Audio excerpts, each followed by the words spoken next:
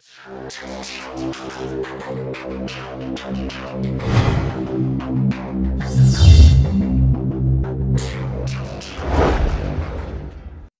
位合作伙伴们，大家好，欢迎来到贝晚安教育学院 WatchGuard 的锦囊妙计第三十四集。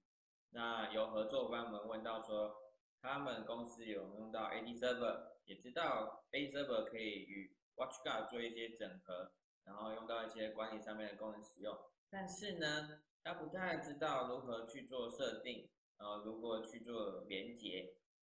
那这一季我们就先从如何与 AD Server 呢做一个连接上面基本上面的设定。那事不宜迟，你就来进到我们的设定画面吧。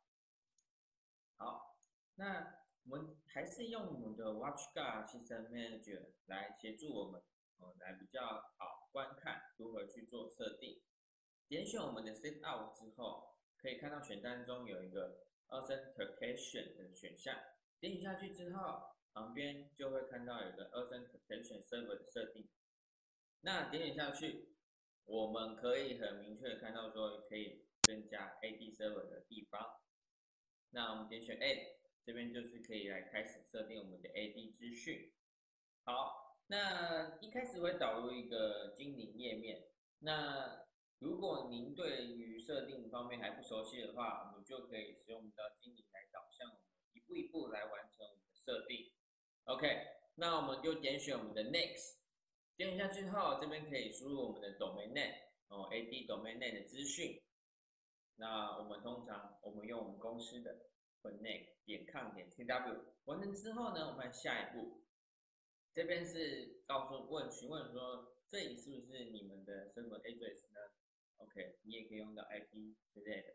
好，那这里有一个。选项就是说，如果你你们公司对于身份验证方式只用到名姓名，就是账号跟密码类似这样子的方式去做验证的话，如果觉得不够安全，就可以勾选起来，然后去做加密方式的更严谨的方式来去做身份验证。那这方面呢，其实大多数都不用使用到这样的设定。如果您对于你们公司需要用到这样的设定，当你勾选起来的时候不不知道是不是成功，或者是设定方面不太清楚的话，都可以在之后我们会有一个联络资讯给来询问我。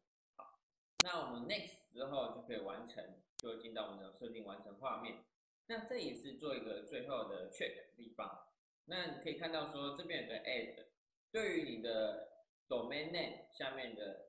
可能你要增加一个 IP address 或是 DNS 的 name，这里可以增加，但是我们通常只能最多两个。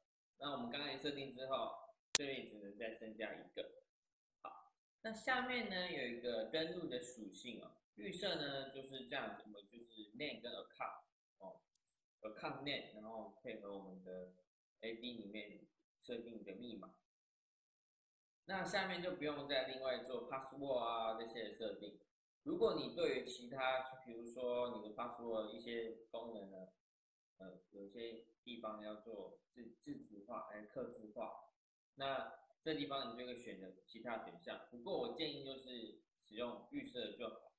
那这样子呢，就完成这样基本与 AD server 呢做一个连接上面的设定。好。下一期第三十五季呢，我们就会说到一些 AD Server 的管理应用。那欢迎大家来我们的 YouTube 来观看我们的教学影片啊，我们帮我们点赞及订阅。